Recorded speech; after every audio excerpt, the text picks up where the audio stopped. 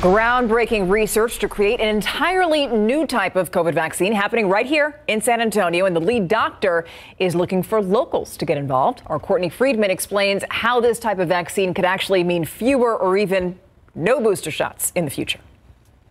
Current COVID vaccines have been extremely successful in preventing severe illness, but as we know, multiple boosters are part of the deal. But a research team right here in San Antonio might be helping change that. This study, I think, could be really be a breakthrough a big breakthrough. Dr. Sherwin Schwartz's team at Endeavor in San Antonio is one of only 10 locations hosting clinical trials of a brand new type of COVID vaccine. We know the virus is like a ball with spikes on it. Current vaccines target the spikes. This is going to be a mechanism of action going after the ball, and the ball doesn't mutate as much. If this vaccine is going to work and not be affected by mutations, my gosh, we won't have to take one every year. Maybe every two or three years, I pray, once one and done. The research is new, and Schwartz says South Texans have a front row seat. Phase one of the clinical trial starts in just two weeks, so he's looking for volunteers right now. You must be 18 to 55 years old, have had three mRNA vaccine shots, which is Pfizer or Moderna, and you must be healthy with no underlying conditions. We, we want to be sure that you don't have an underlying illness that's going to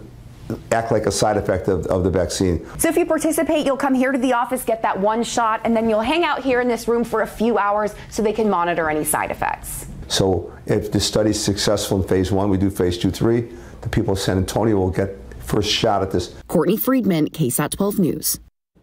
All right, so if you want to volunteer, the number is right there on your screen. It's 210-880-9440. You can also sign up online at endeavorct.com. By the way, people are going to be compensated for both their time and transportation. We also have that information on ksat.com.